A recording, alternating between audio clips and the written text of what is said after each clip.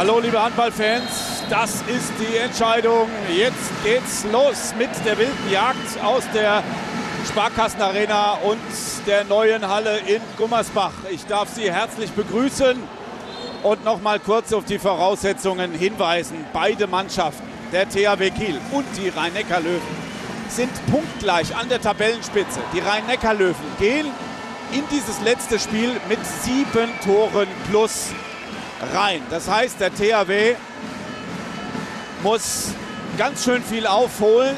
Zunächst wir den deutschen Pokalsieger mal schlagen. Die Füchse aus Berlin. Das wird kein Pappenstiel. Und die Rhein-Neckar-Löwen müssen beim VfL Gummersbach auswärts gewinnen.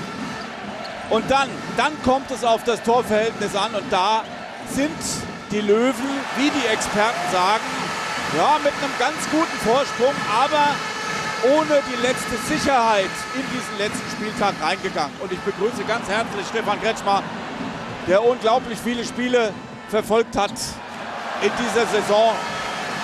Stefan, das letzte Finale um die deutsche Meisterschaft, das war zwischen dem SC Magdeburg und Flensburg-Handewitt so spannend. Und da müssen wir ganz schön lange zurückgucken. Ja, das ist eine Weile her, 2001, ne? die Saison, als am letzten Spieltag die Meisterschaft entschieden wurde. Heute ist es nur nicht gerade gegeneinander, weil am letzten Spieltag spielten wir auch noch direkt gegen Flensburg. Ähm, aber das ist natürlich ein Duell, du sagst es schon richtig, erstmal müssen die beiden gewinnen. Äh, es geht ja immer nur noch darum, wie hoch gewinnt welche Mannschaft. Aber dass diese beiden Mannschaften, die Füchse Berlin und auch der VfL Gummersbach, durchaus unangenehm sein können, das dürfte klar sein. Und äh, Nervosität spielt auf beiden Seiten natürlich auch eine Rolle.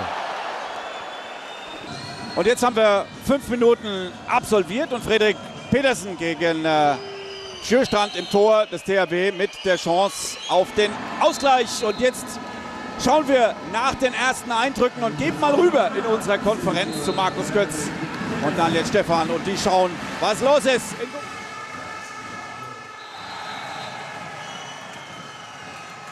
So, hier ist der Handballwahnsinn Teil 2. Willkommen in Gummersbach, wo der noch Tabellenführer am Ball ist. Die Rhein-Neckar-Löwen in Gelb, von rechts nach links in diesem ersten Durchgang. Und es ist äh, hier wesentlich torreicher zugegangen in den ersten Minuten.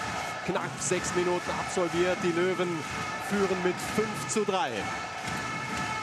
Daniel Stefan ist an meiner Seite. Und wir sind natürlich hier schon eine ganze Weile in der Halle, die übrigens ziemlich gut gefüllt ist mit Rhein-Neckar-Löwen-Fans. Gucken wir uns ganz kurz den Gegenstoß an. Abgeschlossen von Uwe Gensheimer. Drei Tore Führung für die Löwen. Stimmung ist unglaublich hier. Etwa 600, 700 Mannheimer sind mit dabei. Ganz viel Gelb in der Halle. Und jetzt noch mal zu Daniel Stefan. Erstmal herzlich willkommen, Daniel. Ja, wir sind alle ein bisschen aufgeregt heute, keine Frage. Wir sind hier rummarschiert, mit, haben, wir haben mit vielen Beteiligten gesprochen. Äh, und unser Fazit muss lauten, hoffentlich sind die Spieler bei den Löwen cooler als die Verantwortlichen. Thorsten Storm, Gudmundur Gudmundsson, die waren alle wahnsinnig angespannt. Verständlich, Ja, verständlich. verständlich. Aber die Spieler, die sind konzentriert, sie gehen mit Emotionen ins Spiel hinein, haben konsequent auch schon den Gegenstoß gesucht und äh, ja, sie möchten hier nichts anrennen lassen. Sie wollen sofort zeigen, wer Herr im Hause ist hier. Wieder Gensheimer, ja. Konzentriert ist das richtige Stichwort. Klare Führung hier nach sieben Minuten für die Rhein-Neckar-Löwen. Sie machen ihren Job. Und Gummersbach in Person von Trainer Emil Kotagic nimmt die erste Auszeit. Fast 20 Minuten absolviert in der ersten Hälfte. Der THW führt mit 10 zu 7. Es ist ja unfassbar. Die, also die Herangehensweise, du musst dich ja mal in die Spieler reinversetzen, die da jetzt unten stehen. Die Kieler wissen nicht, wie es gerade in Gummersbach steht. Normalerweise musst du voll ins Risiko gehen. Du weißt, du musst sieben Tore aufholen, vielleicht sogar mehr zum jetzigen Zeitpunkt. Dafür spielen sie es noch relativ ruhig. Ja. Na klar, musst du das Spiel auch erstmal gewinnen. Die Füchse sind ein unangenehmer Gegner. Aber du musst den Gegenstoß gehen, jede Chance nutzen.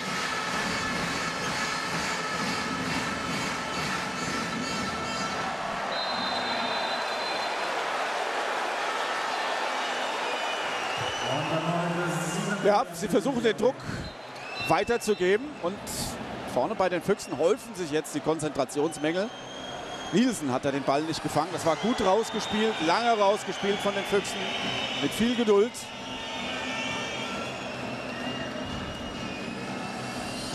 Bujen gegen Heinevetter. Wahnsinn! Heinevetter bleibt total cool. Bujen, der beste Torewerfer beim THW. Hat schon spektakuläre Paraden gehabt. Hat einen Gegenstoß von Sigurdsson abgebissen, also mit dem Fuß oben im Winkel. Heinevetter ist schon voll da. Er will natürlich heute äh, nochmal eine ordentliche Leistung bringen. Und einer der Letzten, der sich vorwerfen lassen will, hier abgeschlachtet worden zu sein. Also die Füchse gehen das sehr, sehr gut an, sehr konzentriert an und äh, spielen das mit System hier heute in Kiel. Sie machen es im THW wirklich sehr, sehr schwer. Hier allerdings der nächste Stockfehler. Das könnte jetzt den Kielern eine etwas höhere Führung bringen. Nächster 7 Meter. Sie schaffen es jetzt nicht mehr, die Anspiele an den Kreis zu verhindern.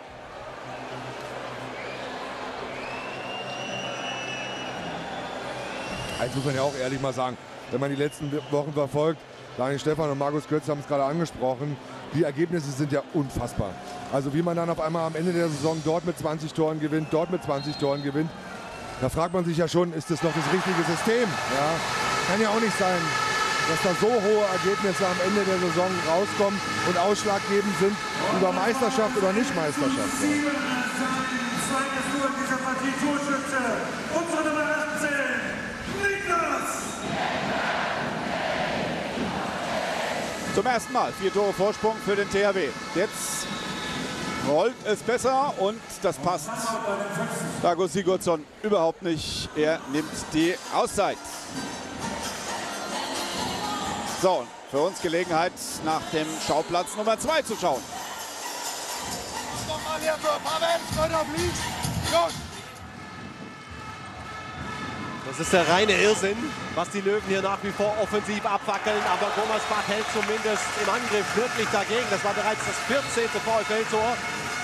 17 zu 14 die Führung für sein Team. Thorsten Storm, der Geschäftsführer der Rhein-Neckar-Löwen. Er ist hier für die Ergebnisübermittlung zuständig. Nächster Treffer für das Team aus Mannheim. Nicht zu glauben, 22,5 Minuten gespielt. Und die Anzeige zeigt bereits 18 Löwentore. Also nochmal zu Thorsten Storm.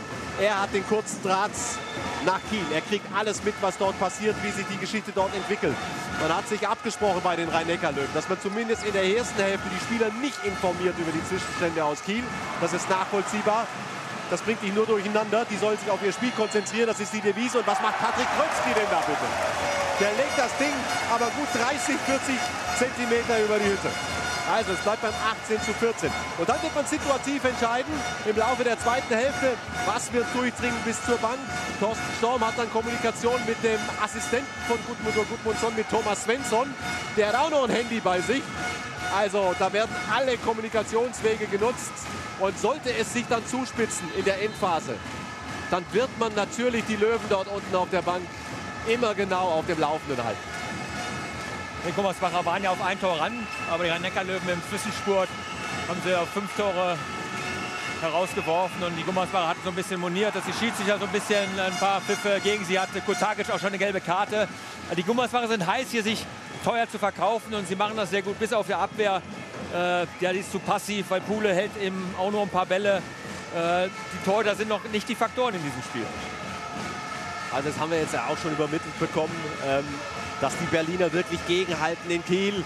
Die großartige Achse Schmid-Mürhol er zwingt zumindest mal wieder einen 7 Meter und selbiges gilt hier natürlich auch für den VfL. Jetzt gibt es hier die zwei Minuten gegen den Keeper. Matthias Puhle hat dazu dolle gemeckert gegen die Entscheidung der Schiedsrichter. Carsten Lichtlein, wir haben es angesprochen, fehlt verletzungsbedingt wegen einer Lumbo-Ischialgie. Äh, Im Volksmund wird das Hexenschuss genannt, hat er sich zugezogen am vergangenen Donnerstag im Training. Und jetzt sollte eigentlich die Stunde der Nummer 2 schlagen, Matthias Pohle. Aber der scheint hier ein bisschen übermotiviert zu sein. Und jetzt kommt die Nummer 3, Lukas Pohl. Das E einfach weggestrichen. Und der muss jetzt zumindest zwei Minuten halten und sieht sich zunächst einmal einem Gensheimer 7 Meter gegenüber. Uwe Gensheimer, der Nationallinksaußen. Wie aufgedreht bislang, auch wenn er den verwirft. Gensheimer hat schon sechsmal genetzt.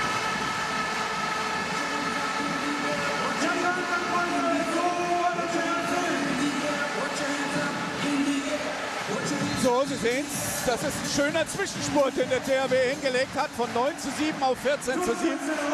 Stefan Kretschmer, jetzt brennt wirklich die Luft, denn jetzt sind sie den Löwen richtig auf den Hacken. Ja, man muss ehrlich sagen, dass äh, die Herausnahme von Romero äh, der Schlüssel war, warum die Kieler besser ins Spiel gefunden haben. Die Füchse machen zu viele Fehler im Angriff, viele technische Fehler. Äh, die Kieler konnten Gegenstöße laufen und haben das brutal genutzt. Und das ist ja, dafür sind sie ja berühmt berüchtigt. Wenn man ihnen die Tür aufmacht, dann gehen sie da durch. Dann können sie auf einmal einen 3, 4, 5, 0 Lauf starten mit ihren Gegenstößen. Und das haben sie beispiellos gerade gemacht. Also zu Recht. Die Abwehr ist super konzentriert. Fabian Wiede produziert Fehler ohne Ende. Er ist mit der Situation noch nicht so richtig warm geworden. Christoffersen und Horak versuchen 1 gegen 1 zu gehen. Jicher spielt vorne eine super Deckung. Hier haben wir Titi ist zu Besuch mit seiner Gattin links und äh, vielleicht finden wir auch noch Markus Alm, der auch hier zu Gast ist und natürlich die Daumen drückt seinem ehemaligen Team. Und der Titel, der 19. ist wieder näher gerückt. So viel können wir sagen, denn der THW spielt hochkonzentriert, vor allen Dingen in der Abwehr. Kaum ein Durchkommen.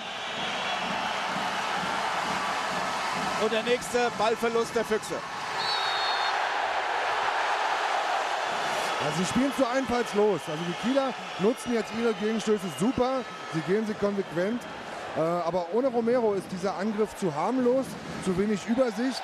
Man hat das Gefühl, Christoffersen und auch Horak sind sich nicht bewusst, was sie machen müssen gegen diese 3-2-1-Formation.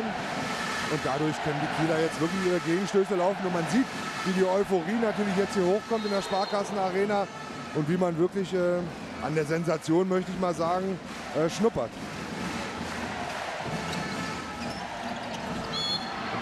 Oh, da hat Bujen sich aber ganz schön verzettelt. Hat er Glück gehabt.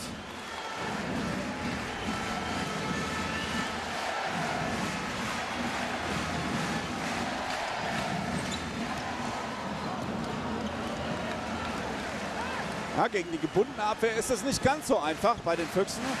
Es ist durch die Tempo-Gegenstöße, durch die erste und zweite Welle gekommen, dass der THW so einen großen Vorsprung mittlerweile rausgearbeitet hat. Das war ein Schrittfehler von Jicha. Die Füchse haben auch noch keinen einzigen Treffer durch den Tempo-Gegenstoß erzielt. 0,0, nada. Ich glaube, das war aber auch von vornherein nicht ihre Marschroute. Oh, jetzt bringen sie Spoil. Spoljaric auf der halblinken Position. Ja, jetzt ist es spitz auf Knopf. Nur noch drei Tore Vorsprung für die Löwen. Und der nächste Fehler. Schwaches Anspiel von Christoffersen.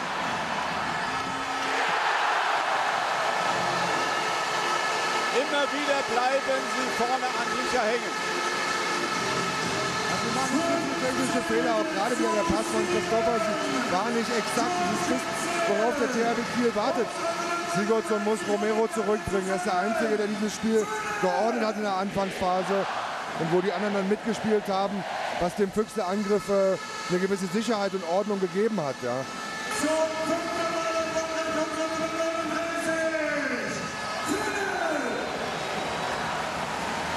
Haben Sie gesehen, wie der Wiencheck verteidigt? So muss man es machen, wenn man deutscher Meister werden will. Der trägt den zurück zur Mittellinie. Ja, jetzt sind sie auch mal schnell gegangen, die Füchse. Das haben das ganze Spiel noch gar nicht gemacht. Schnelle Mitte gespielt. Aber das ist natürlich jetzt gefährlich. Bei dem Spielstand 17 zu 8, die Kieler mit Oberwasser, Selbstvertrauen. Auch der Pass von Palmerson zu Jischa, gerade vorne allererste Sahne. Also Derzeit wäre der THW Kiel Meister. Und die Leute informieren sich. Die sind mit dem iPad hier. Die hören Radio. Die wissen Bescheid. Die feuern ihre Mannschaft an. Alles steht in der Sparkassen Arena. Und der letzte Wurf soll unbedingt verhindert werden wird wiederholt. Sie konzentrieren sich jetzt, dass jede Chance drin ist. Und das machen sie wirklich gut nach der Halbzeit. Zehn Gensheimer Tore haben wir bereits gesehen. Er spielt am aufgedrehtesten bei den rhein löwen und er schnappt sich jetzt auch wieder den Ball, wenn es zum 7 Meter geht. Das ist Chefsache. Der Kapitän macht's. Oh Mann, er war ja heiß umworben vom THW Kiel. Sie wollten ihn nach dieser Saison hochholen in den Norden. Er hat gesagt, ne, ich bleibe in Mannheim, das ist meine Heimatstadt. Für mich wäre ein Meistertitel mit den Rhein-Neckar-Löwen zehnmal mehr wert als eine Meisterschaft mit dem THW Kiel. Und er ist jetzt wieder näher dran. Acht Tore vorn, die Löwen.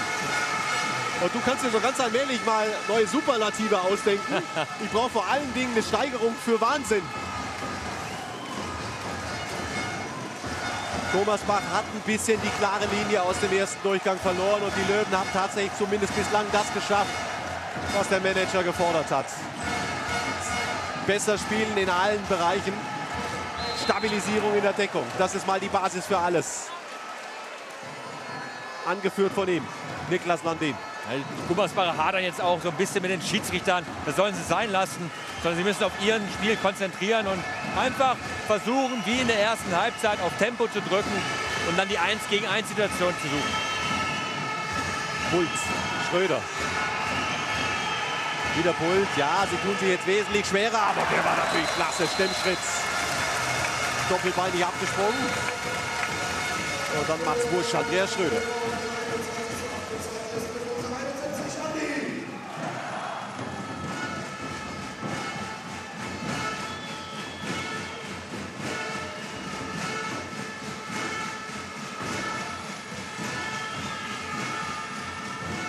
Ist da für ein Tempo drin? Und wieder kriegt Gensheimer den Abschluss. Wow. Wie schnell läuft denn der Ball da durch die Löwenmannschaft? Ja, aber gut, da, da muss von Haller, der eben Gensheimer deckt, muss aber ein bisschen äh, personenbezogen, personenbezogen decken. Ja, das kann nicht sein, wenn er jetzt schon das elfte Tor macht, dann lasse ich ihn einfach nicht mehr werfen. Da müssten sie sich ein bisschen cleverer anstellen in der Abwehr von Gummersbach. Und wieder haben wir ganz kurz den Löwenmanager Thorsten Storm gesehen. Der wippt nur noch hin und her, guckt permanent auf sein Handy. Er hat ja ein wirklich abgeklärtes, ruhiges Interview gegeben in der Halbzeit, aber wie es innen drin aussieht, nämlich ganz anders. Aber das ist jetzt eine andere Löwendeckung. Sie zwingen äh, den VfL Gummersbach in längere Angriffe. Die tun sich schwerer, gute Wurfpositionen zu kreieren.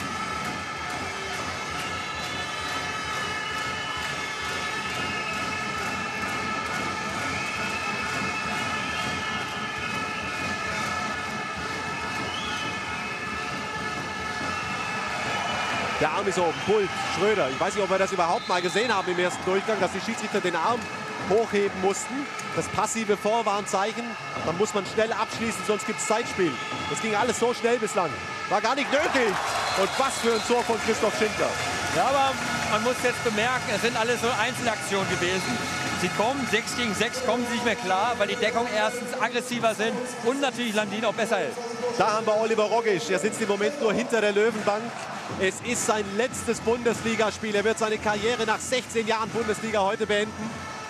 Oh, tolle Parade hier von Kuhle, aber war natürlich ein klares Foul an Mürholt. Gibt zwei Minuten ja, auf den sieben Meter. Mürholm steht natürlich vorher im Kreis. Also Schiedsrichter muss ich wirklich sagen, ja, es ist alles hektisch und die Schiedsrichter lassen sich manchmal so ein bisschen äh, anstecken.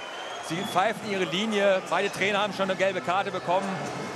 Es ist auch wirklich schwierig, hier mal wirklich eine ruhige Hand zu beweisen. Ja, Andreas und Markus Britschow, für die ist das wirklich alles andere als ein einfach zu leitendes Spiel. Und da waren natürlich schon ein paar Fehler mit dabei. Und Gensheimer, was ist eigentlich mit dem los heute? Er war ja auch ähm, schon verletzt in dieser Saison. Er ist in absoluter Topform. Der Löwenmanager ist glücklich. Und ich denke auch der Bundestrainer im Hinblick auf die Quali-Spiele gegen Polen. Wenn er seine Spieler in dieser Verfassung sieht. Uiuiui. Schröder guckt nicht hin. Und Santos hat den Fehler ausgebügelt.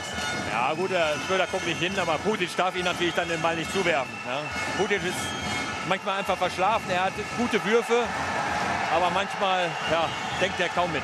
Der Ball war doch eigentlich am Fuß und dann kriegen sie doch noch das Tor. Jetzt hat Grötzky sich verspekuliert. Tolle Einzelaktion von Raul Santos. Aber man muss sagen, Santos macht wirklich Spaß, ihm zuzuschauen. Er hat eine geile Saison gespielt, hat Wurfvarianten drauf. Und äh, er hat einen ganz großen Schritt nach vorne gemacht. Ich frage mich, wo Patrick Grötzky diese Lücke gerade gesehen hat. Da war doch gar keine zwischen dem Keeper und dem Posten, dem kurzen. Und trotzdem kriegt er ihn durch. Wieder acht Tore Führung für die Rhein-Neckar-Löwen. 42 Minuten gespielt. Es ist kaum noch auszuhalten, die Spannung. Und jetzt sind wir natürlich alle wieder gespannt, wie sich die Geschichte in Kiel entwickelt. Auf geht's, Gretscher und Uwe.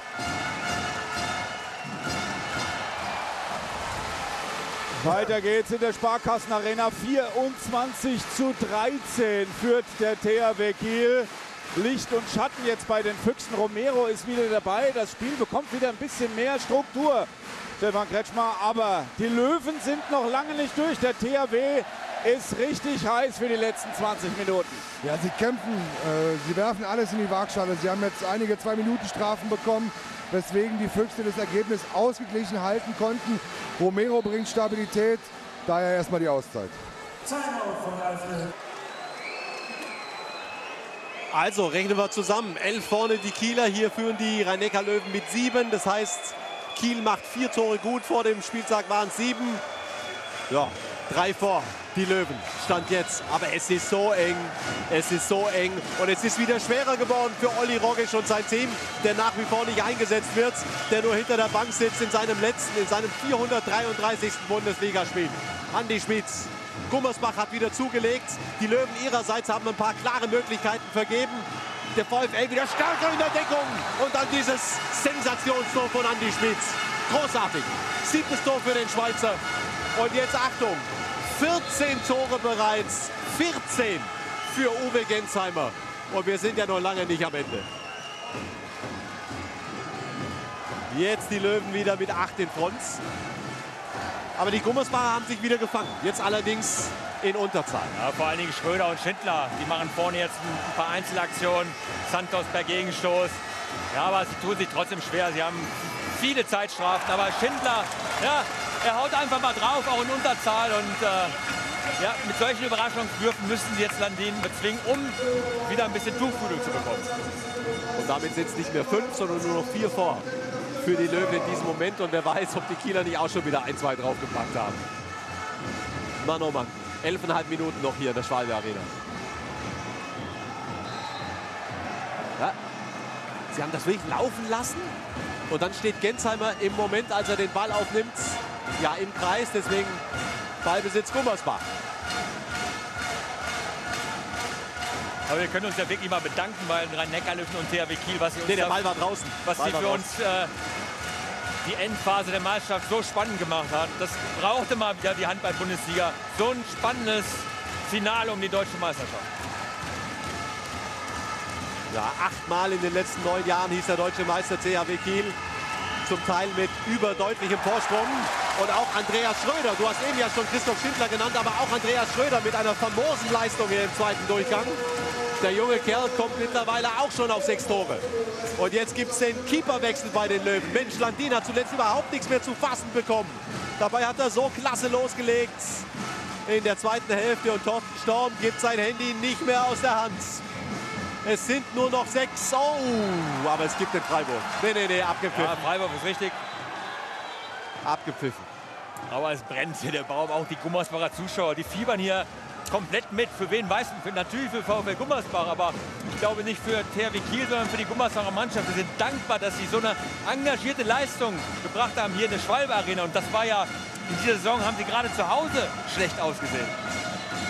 Aber es sieht jetzt wieder spürbar schlechter aus für die Löwen. Nur noch sechs Tore die Führung. Ich glaube nicht, dass das reichen wird. Sie müssen wieder ein paar draufpacken. Nee, nee, nee. Die Leichtigkeit ist wieder weg. Und das ist ein Geschenk, dieser Freiwurf. Das ist ein Geschenk an die Schmieds. Kann das annehmen und verwerten. Was ist jetzt? Auszeit, Treffer Auszeit zählt vorher. nicht. Treffer zählt nicht. Bereits zuvor die Auszeit genommen von Gudmundur Gudmundsson, der seiner Mannschaft damit zwar einen Treffer nimmt, aber Der THW wieder auf plus 12. 29, 17.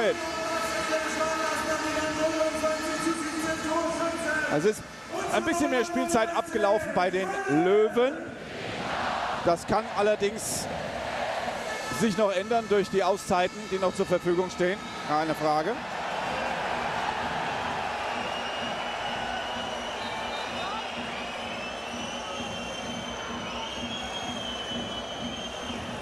Hier hörst du nichts mehr. Also die Stimmung hier unfassbar. Alle natürlich extrem angespannt. Jeder weiß wahrscheinlich auch, was da in Gummersbach gerade passiert, oder die meisten zumindest. Und ich meine, der Satz, jedes Tor kann entscheidend sein. Hatte noch nie so eine große Bedeutung wie wahrscheinlich heute an diesem Tag, wo es um die Meisterschaft geht. Romero zappelt, kämpft, beißt, spuckt, kratzt. Als wollte er sich alleine hier auflehnen und seine Vertragsverlängerung noch mal so richtig untermauern mit einer guten Leistung. Die anderen teilweise abgetaucht. Ehemaliger Nationalspieler Christoffersen. Viel zu wenig zu sehen. Fabian Wiede, der so viele gute Erfahrungen gesammelt hat, ist mit dieser Situation überfordert. Und das war ein Schrittfehler. Und in der Situation ein Heber von der Nummer 5 von Jonas Tümmler. Also der THW Express ist in voller Fahrt. Und wir gehen rüber nach Gummersbach.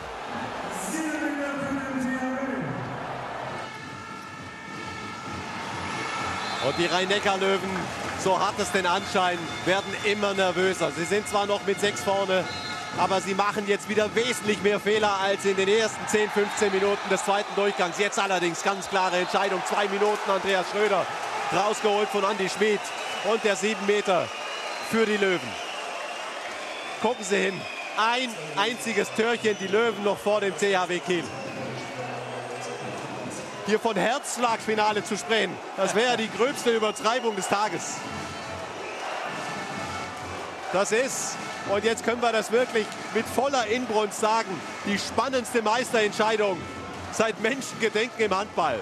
Seit es die Bundesliga gibt 1977. Und so ganz unrealistisch sind die Entscheidungsspiele nicht mehr. Bei gleicher Tordifferenz zwei Entscheidungsspiele. Uwe Gensheimer durch den Keeper quasi hindurch. Übrigens Matthias Puhle mit wirklich spektakulären Paraden in den letzten Minuten. Was der da rausgefischt hat, zum Teil aus sechs Metern, unglaublich. Markus, ich kann dich nur bestätigen, ein Entscheidungsspiel ist drin, aber der neue deutsche Meister kann auch der Kiel leisten. 33 zu 18, 15 Tore vor gegen den deutschen Pokalsieger. Wahnsinn!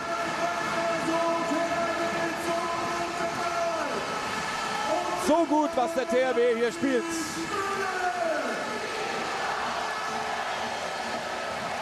Und die Füchse im Angriff ohne Romero wie ein Huhn ohne Kopf. Derzeit ist der THW Kiel Meister mit einem Tor vor.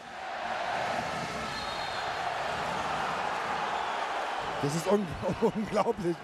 Also man muss sich mal vorstellen, was hier in der Liga gerade abgeht dass diese Kieler tatsächlich äh, diesen sieben Tore Vorsprung der Löwen aufholen, egalisieren und darüber hinaus dann Meister werden. Aber die Bank von rhein löwen Svensson und Gudmundsson, die, die flippen schier aus. Also Wahnsinn.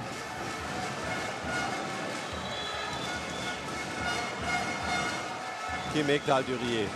Muss er selbst was machen, die anderen sind abgedeckt. Schmid baut nochmal neu auf. Pettersson und wieder Pule. Und Gummersbach mit der Chance zum Konter. Und der täte jetzt richtig weh. Ne? Oh Gott, oh Gott, oh Gott. Hier wird jede Nervenfaser strapaziert. Wir gucken uns noch mal ganz kurz diesen Löwenangriff an. Auch der wird abgeblockt. Das gibt's doch nicht. Jetzt kommen wir wieder im Bereich des, des Vogelwilden und Tokotala bringt den CHW Kiel näher an die deutsche Meisterschaft. Zurück in die Sparkassenarena. Es sind nur noch sechs für die Löwen.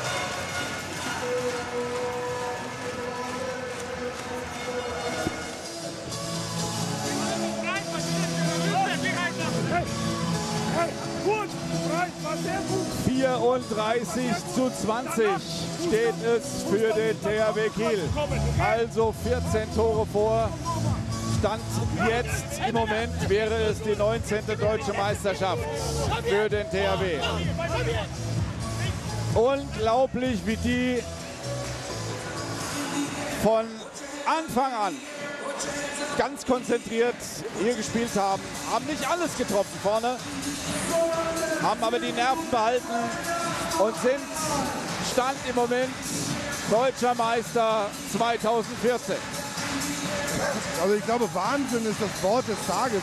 In jedem zweiten Satz, egal ob in Gummersbach oder hier in Kiel, äh, kommt das Wort Wahnsinn vor.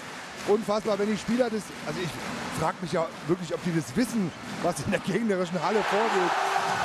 Die Kieler spielen es unfassbar heute. 15 vor. Und bei Berlin muss man ganz klar sagen, es ist einzig und allein Romero im Zusammenspiel mit Nielsen, der im Angriff noch Akzente setzt. Der Rest findet faktisch nicht statt oder hat es nicht verstanden, was man machen muss gegen diese Kieler Abwehr.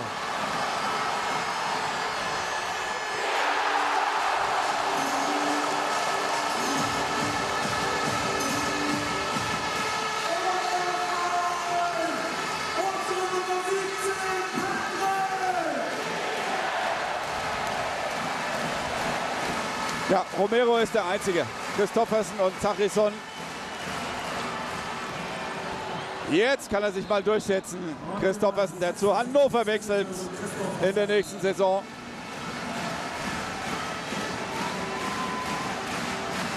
Ja, und die verrückten Ergebnisse der letzten Woche nehmen weiter ihren Lauf. Wer hätte gedacht, dass die Füchse mit 15 Toren hier in Kiel zurückliegen oder verlieren können? Ich sage, in der regulären Saison wäre das kein mögliches ja. Ergebnis gewesen. Ja, warum das so kurz vor Schluss dann nochmal so abgeht in dieser Liga, unverständlich.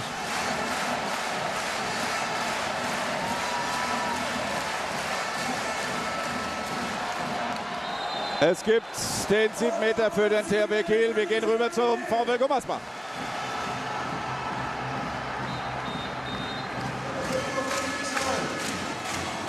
Die Löwen haben die Nerven verloren. Sie haben so viele Fehler gemacht in den letzten Minuten. Sie führen nur noch mit vier Toren. Und damit ist der CHW Kiel fast schon Meister. Jetzt brauchen sie ein Wunder. Nichts anderes hilft mehr. Sie brauchen zwei, drei Tore und müssen hoffen, dass auch die Berliner noch irgendwas machen. Was ist hier passiert, Daniel? Du hast es ganz klar erwähnt. Die Nerven liegen blank bei den rhein löwen Sie haben die Nerven verloren. Schmied macht zwei technische Fehler. Äh, Pettersson gibt den Ball ab. Und von Glück kann man sagen, für den Rhein-Neckar-Löwen, die Gummersbacher hätten noch drei Tore mehr machen müssen. Sie hatten hundertprozentige Chancen und jetzt ist natürlich, also Gudmundsson, der flippt hier aus und sie wissen gar nicht, was sie machen sollen im Moment. Sie haben natürlich längst mitgekriegt, was in Kiel los ist. Sie wissen, dass jetzt noch was Unglaubliches passieren muss. Und dann vom Posten kommt der Ball zu Brötzky und wieder Pule. Dieser Teufelskerl.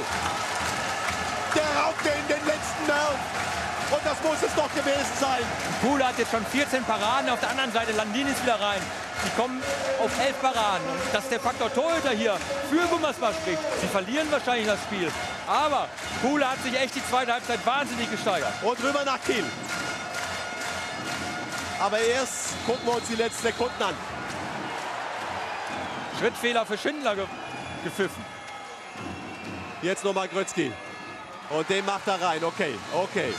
Nochmal durchschnaufen. 5 vor, 15, 15 Sekunden, Sekunden ja. Also wahrscheinlich kriegen wir jetzt hier kein Tor mehr. Was machen die Löwen? Sie bleiben passiv. Die machen nichts mehr. Die wollen die 5 halten, oder wie? Ja, es ist schwierig. Alle raus, das geht nicht. Und äh, so wird Rhein-Neckar-Löwen also, mit 5 Toren Sie gewinnen mit 5. Und wenn Kiel mit mehr als 12 gewinnt, ist der CHW Meister. Ab in die Sparkassen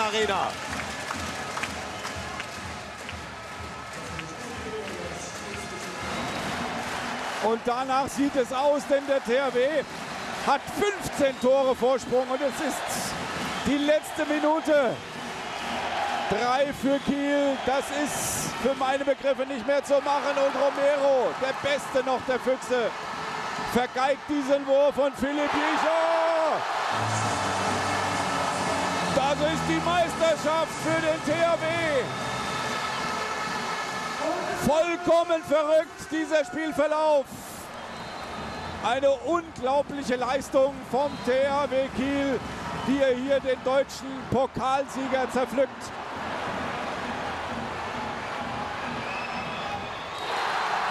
Palika nochmal mit der Parade. Es bleibt bei 15. Und zur Erinnerung, die Löwen hatten plus 7. Jetzt ist es minus 3. Der THW Kiel führt mit drei Toren. Das Ding ist zu Ende. Dieses Tor zählt noch, aber der THW Kiel ist Meister.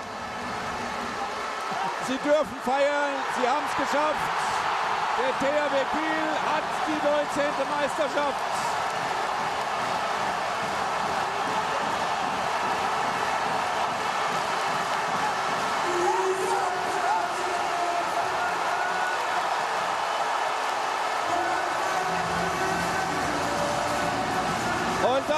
Vollkommen irre jetzt. Da haben Sie den Beweis. Diese 37 zu 23 reicht, um die Löwen auf der Ziellinie noch rauszunehmen. Also in jedem Fall ist es die geilste Meisterschaft, die der THW hier hatte, jemals. Wenn man die Halle sieht, als das Ergebnis durchgesagt wurde, ähm, so euphorisch habe ich das Kieler Publikum noch nie gesehen.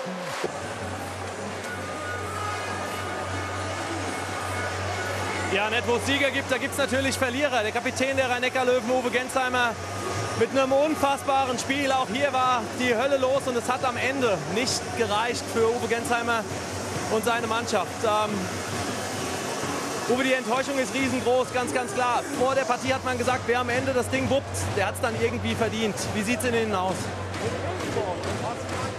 Keine Ahnung, ich bin gerade äh, einfach total leer und logischerweise Boden zerstört und traurig. Und ja, vielleicht hat es der am Ende verdient. Wir haben heute äh, in der Tat nicht unser bestes Spiel gemacht und am Ende lag es dann, dann daran, äh, dass, dass wir heute nicht äh, das Maximum leisten konnten und äh, offensichtlich konnte das äh, der THW Kiel zu Hause.